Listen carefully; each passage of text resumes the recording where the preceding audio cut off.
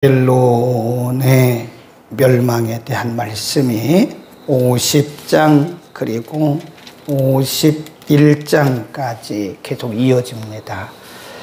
어, 왜 같은 내용의 말씀을 같은 주제의 말씀을 이렇게 성경은 길게 말씀을 할까?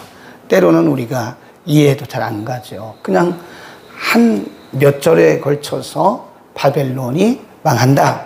아, 그렇게 하시면 좋으련만 이렇게 길게 같은 주제를 가지고 굉장히 길게 두 장에 걸쳐서 말씀을 하는가.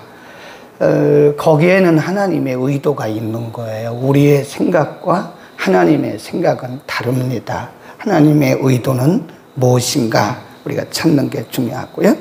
오늘 본문 말씀에도 바벨론의 멸망인데 13절에 보면 여호와의 진노로 거기 줄 봅시다. 여호와의 진노로 인하여 거민이 없는 온전한 황무지가 될 것이라. 바벨론으로 지나는 자마다 그 모든 재앙을 놀라며 비웃을 것이다. 그랬습니다. 바벨론은 그 당시 고대 근동에서는 최강대국이었죠. 최강대국. 그러니까 바벨론 안에는 굉장히 많은 우상들도 있었고 굉장히 자신의 나라에 대한 자부심이 강했죠. 그러니까 바벨론이 무너진다는 것은 상상도 못하는 거죠. 그런데 누가 그 바벨론을 멸하신다고 그래요? 13절에 보면 주어가 뭐래요? 여호와의 진노. 하나님. 그러니까 하나님이 온 열방의 통치자다. 영원한 강대국은 이 땅에 없다라는 것을 말씀하고 어떻게 망하는가 12절 보면 그러므로 너희의 어미가 온전히 수치를 당하리라 너희를 낳은 자가 시리를 당하리라 보라 그가 열방의 말재와 광야와 마른 땅과 사막이 될 것이다. 사람을 낳으면 기쁨이 있어야 되는데 왜 슬픔이 있죠? 나라가 망하니까 그렇죠. 그렇잖아요. 우리 나라가 이렇게 지금 아직은 이렇게 평화롭게 가니까 우리가 자녀를 낳아도 아이를 낳아도 기뻐하고 축하하지. 나라가 망하면 아이를 낳들 그게 기쁨이 되겠습니까? 이 아이들이 어떻게 살아가라고요? 우크라이나 전쟁의 모습을 TV 화면에서 우리가 보잖아요. 그 전쟁통에도 아이들을 낳아요. 그 전쟁통에 출생한 아이들은 그 부모의 기쁨이 될 수가 없어요. 그러니까 바벨론이 그렇다는 거예요. 바벨론을 하나님께서 그렇게 슬픔의 나라로 변하게 하실 것이다. 14절에 보면 바벨론을 둘러 항우를 벌이고 활을 당기는 모든 자요. 그 주변의 군대를 말하죠. 화살을 아끼지 말고 쏘라. 그가 여호와께 범죄하였음이니라. 15절 그 사면에서 소리질러 칠지어다. 그가 항복하였고 그 보장은 무너졌고 그 성벽은 회파되었다. 그들이 자랑하는 모든 성벽, 군대, 군사력 이 모든 것들이 다 무너져 내렸다라고 하는 것을 말씀하죠. 그들의 보장이란 말은 그들의 국력을 의미하는 거죠. 그들이 섬겼던 의지했던 신을 의미하는 거죠. 그러니까 바벨론에는 굉장히 많은 신들이 있었다고요. 그들의 생각에는 우리가 이런 신을 숭배하고 이런 신전을 만들었기 때문에 우리는 안전하다고 생각했지만 그조차도 하나님께서 다 회파하시겠다. 그러니까 그들이 의지하고 신뢰하는 것은 무엇이든지 다 없애겠다. 그런 말씀이고요. 자, 그러면 그 이유가 뭐냐? 하나님이 바벨론을 이렇게 파멸시키는 이유가 뭐냐? 11절입니다. 11절 시작. 나의 산업을 노력하는 자여 거기 줄겁시다. 나의 산업 이게 이스라엘이에요. 유다 백성입니다. 나의 산업 하나님 말씀하기를 유다를 노력하는 자여 너희가 즐거하여 기뻐하며 곡식을 가는 송아지 같이 뛰며 힘센 같이 울도다. 힘센 말같이 울도다. 그렇지만 너희는 멸망한다. 그런 뜻이에요. 어, 참 어떻게 보면 하나님의 행하시는 일이 때로는 이해가 안 갑니다. 유다 백성들이 바벨론의 포로가 되기 전에 하나님이 수없이 여러 번 그들에게 경고하셨잖아요. 너희가 회개하지 않으면, 너희가 말씀대로 살지 않으면 너희는 반드시 망한다. 누구에 의해서 망해요? 바벨론에 의해서 망한다. 그리고 그들이 여전히 듣지 않았을 때 하나님은 이 바벨론에 있는 누부갓네살을 데려왔다고요. 그리고 누부갓네살 그리고 바벨론 군대를 통해서 유다 백성들을 다 멸하고 성도 파괴하고 성전도 불태우고 그리고 이들을 포로로 잡아갔잖아요. 70년을 이들을 통치했잖아요. 근데 하나님이 이들을 유다 백성들을 뭐 하기 위해서 징계하시기 위해서 뭘로 쓰셨어요? 몽둥이로. 몽둥이로 쓰시고는 지금 버리시는 거예요. 그러니까 이런 부분을 보면 안 믿는 분들은 하나님이 이런 무자비한 분이시냐. 아니, 쓸 때는 언제고, 버리실 때는 언제냐. 이렇게 말할 수 있다는 거죠. 근데 그것은 뭐 창조주이신 하나님이 하시는 일이니까 어, 우리가 어떻게 말할 수 없죠. 그분은 토기장이고 우리는 토기인데 지음받은 토기가 토기장이에게 당신 왜 그래? 그렇게 말할 수 없다는 그건 뭐 토기장의 마음인 거고요. 음. 그러니까 어떤 때 보면 하나님의 행하시는 일들이 우리의 생각으로는 이해가 안 가요. 그러나 그것은 주인이신 하나님이 하시는 거고 우리에게 가르치는 것은 뭐냐? 하나님의 역사의 중심에는 언제나 하나님의 백성들이 있는 거예요. 하나님의 구속하신, 하나님의 구원하신 백성들이 역사의 중심에 흐르고 있는 거예요. 네. 하나님은 이들을 통해서, 우리를 통해서 하나님의 역사를 끌어가시는 거다는 거죠. 그러니까 역사의 무대 위에 하나님께서 일을 하시는데 이 다른 사람들은 다 조연이에요, 조연, 엑스트라. 그 우리가 주연입니다. 우리끼리 하는 얘기예요. 하나님은 우리를 역사의 무대에 주연으로 올려놓으시고 하나님 감독이시라고요. 그리고 뭐 바벨론, 아수르, 모압, 암몬, 에돔, 아람 이런 사람들은 블레셋 다 뭐예요? 엑스트라예요. 엑스트라. 그러니까 우리가 여기에 대해서 하나님은 왜 그렇게 하시느냐 뭐 이렇게 말할 수는 없죠.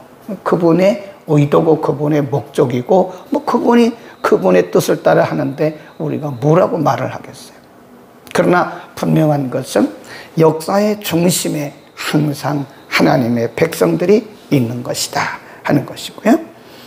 그 다음에 17절부터 보면 하나님의 계획, 궁극적인 계획이 있습니다. 17절 이스라엘은 흩어진 양이라 사람들이 그를 따르도다 처음에는 아스로 왕이 먹었고 이건 북왕국 이스라엘을 말합니다. 다 줄거놓고 아스로 왕이 먹었고 이 말은 줄거놓고 주전 722년 이스라엘을 망했죠. 이스라엘이 망했죠. 그러니까 북왕국 이스라엘은 아수르 군대에 의해서 주전 722년에 망했어요. 그걸 말하는 거예요. 다음에는 바벨론 왕 느부갓네살이 그 뼈를 깎도다. 이것은 주전 586년 유다를 포로로 잡아간 사건을 의미합니다. 그러니까 북왕국은 아수르에 의해서 망했고 그리고 남왕국은 바벨론에 의해서 포로가 되었다. 역사적인 사실을 말씀하고 있는 거다. 18절 그러므로 남한군의 여호와 이스라엘의 하나님이 이같이 말하노라 보라 내가 아스루 왕을 벌한 것 같이 바벨론 왕과 그 땅을 벌한다 그랬습니다. 아스루는 722년에 없어졌어요. 망했어요. 아, 북왕국을 722년에 물론 음, 그들이 침공했지만 그 이후에 그 이후에 하나님은 아수르를 멸하셨다. 그런 것처럼 바벨론을 멸하실 것이다. 자, 19절 이스라엘을 여기서부터는 하나님의 계획입니다. 하나님이 이스라엘을 향한 유다 백성들을 향한 하나님의 뜻은 무엇이냐? 19절 시작 이스라엘을 다시 고출 거놓으세요. 다시는 이제 이 유다 백성들에게는 그런 큰 하나님의 징계가 없을 것이다. 이스라엘을 다시 그 목장으로 돌아오게 하리니 그가 갈멜과 바산에서 먹을 것이며 그 마음이 에브라임과 길르앗산에서 만족하리라. 다시 이 말은 회복 그다 써놓으세요. 회복. 하나님이 한때는 그들을 징계하셨지만 하나님이 그들을 다시 그 말은 하나님의 회복을 의미하는 것이다. 하나님께서 유다 백성들을 다시 회복하시겠다. 그러니까 어, 하나님의 백성들을 향하신 하나님의 은혜는 하나님의 자비는 하나님의 긍휼은 회복입니다. 회복. 인간이 완벽할 수가 없어요. 살다 보면 우리가 판단이 잘못돼 가지고 범죄하고 때로는 모르고 범죄하고 그런다. 그래서 하나님은 그때그때마다 하나님의 백성들인 우리들은 바로 세우시기 위해서 하나님이 징계를 하세요. 그 징계는 결코 저주가 아니에요. 징계는 우리를 바로 세우기 위한 하나님의 사랑의 표현이다. 사랑의 표현. 그래서 징계를 통해서 이렇게 하나님께서 우리를 아프게 하시지만 반드시 싸매 주세요. 다시 고쳐 주십니다. 그게 회복이에요. 그러니까 우리가 분명히 알아야 하는 것은 하나님께서 우리를 징계하실 때 그것이 저주다. 사탄의 역사다. 그런 생각조차 하지 말라고 제가 수없이 얘기했습니다. 그럼에도 불구하고 하나님이 우리를 징계하실 때 그 징계에 대해서 저주처럼 생각하고 그렇게 절망하고 좌절하는 사람들이 있어요. 반드시 알아요. 징계는 회복이 있다. 반드시. 징계는 회복을 위한 것이다. 징계는 하나님이 우리의 유익을 위한 것이다. 히브리서 12장에 보면 하나님께서 우리를 유익하게 하기 위한 것이다 라고 우리를 온전케 하기 위한 것이라고 말씀했습니다. 그러니까 우리가 우리 자신이 잘못해가지고 하나님의 징계 아래 있을 때 그냥 묵묵히 기다리세요. 그리고 돌이키시면 돼요. 응? 묵묵히 기다리면서 돌이키면 되지 여기서 막 일일비하고 나는 왜 그런가 누구를 원망하고 하는 것은 이건 불신자예요. 불신자. 하나님을 신뢰하지 못하기 때문에 그런 거예요.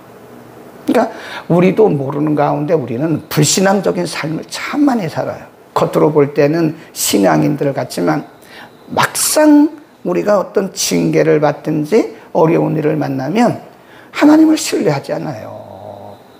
응? 어제 어떤 분이 그러더라고요. 크리찬들이 사업하다가 망해서 신앙이 떨어지지 않은 사람이 거의 없다 그러잖아요. 그 왜 그럴까요?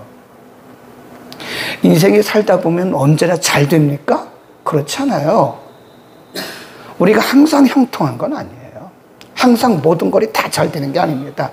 그런데도 그걸 알면서도 막상 어떤 어려운 일을 만나면 신앙이 곤도박질 친다는 것을 항상 믿어야 돼요. 아멘. 하나님은 우리를 반드시 궁극적으로 승리하게 하시는 분이에요. 이 고난의 길이 끝나고 나면요, 반드시 승리의 깃발을 들을 날이 온다고요.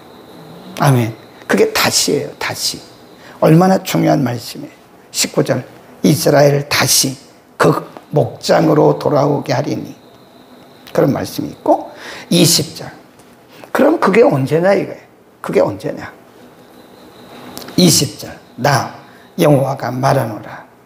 50장 20절입니다. 나 여호와가 말하노라. 거기 줄봅시다. 그날 그때. 이게 하나님의 시간이라는 거예요. 몰라요. 그날 그때는.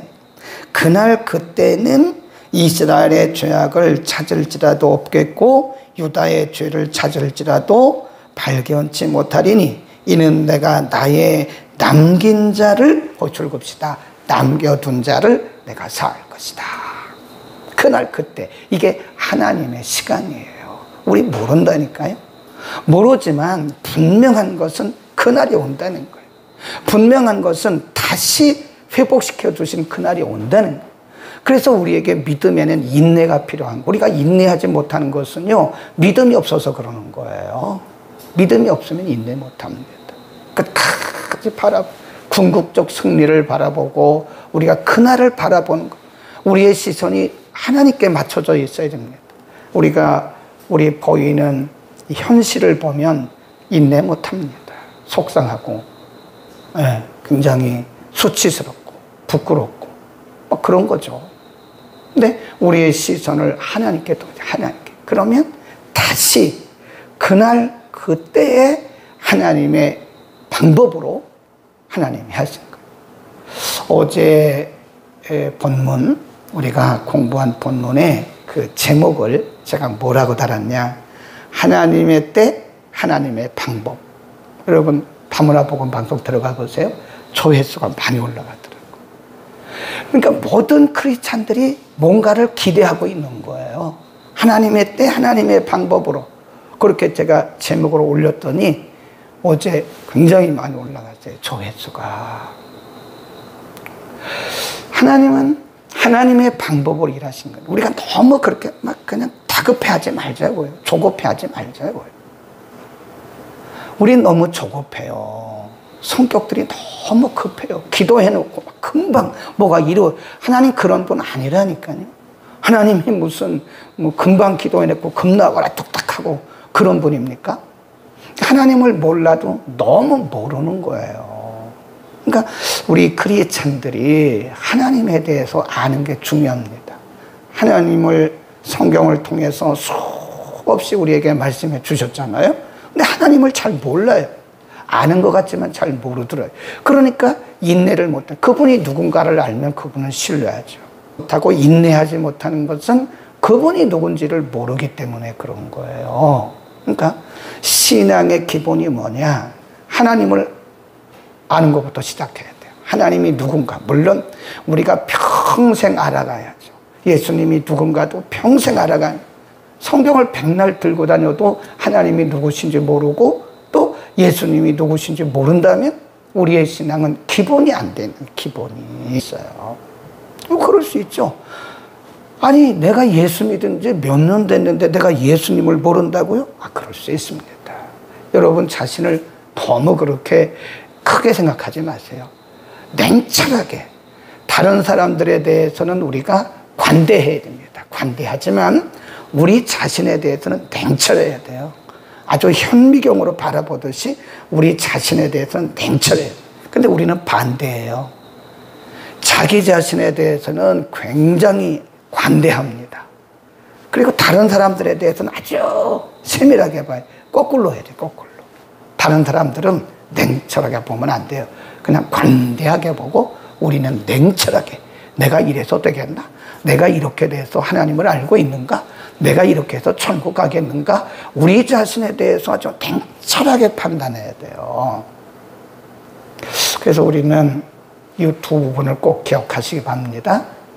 다시, 다시, 19절에 다시. 하나님은 궁극적으로 승리를 주시는 분이시다. 그리고 20절, 언젠지 모르지만 그날 그때. 예, 우리가 너무 조급할 것도 없어요. 하나님을 신뢰한다면 그냥 안심하세요. 어차피 우리는 승리해요. 어차피 요단강을 건넜기 때문에 과정이 어렵기는 하지만 우리는 어차피 약속의 땅에 들어갑니다. 가나안 땅에 들어가요. 그러니까 그 하나님을 신뢰하면서 우리는 인내하자 이겁니다. 아멘. 기도합니다. 걸어가신 우리 아버지, 오늘 아침에는 하나님의 궁극적 승리에 대해서 상고했습니다. 하나님이 한때는 유다 백성들을 징계하시기 위해서 바벨론의 손에 붙이셨지만 하나님이 바벨론을 멸하시고 하나님의 백성 유다 백성들을 다시 하나님의 정하신 기간에 하나님께서 구원하시고 회복시켜 주심을 말씀해 주셨습니다.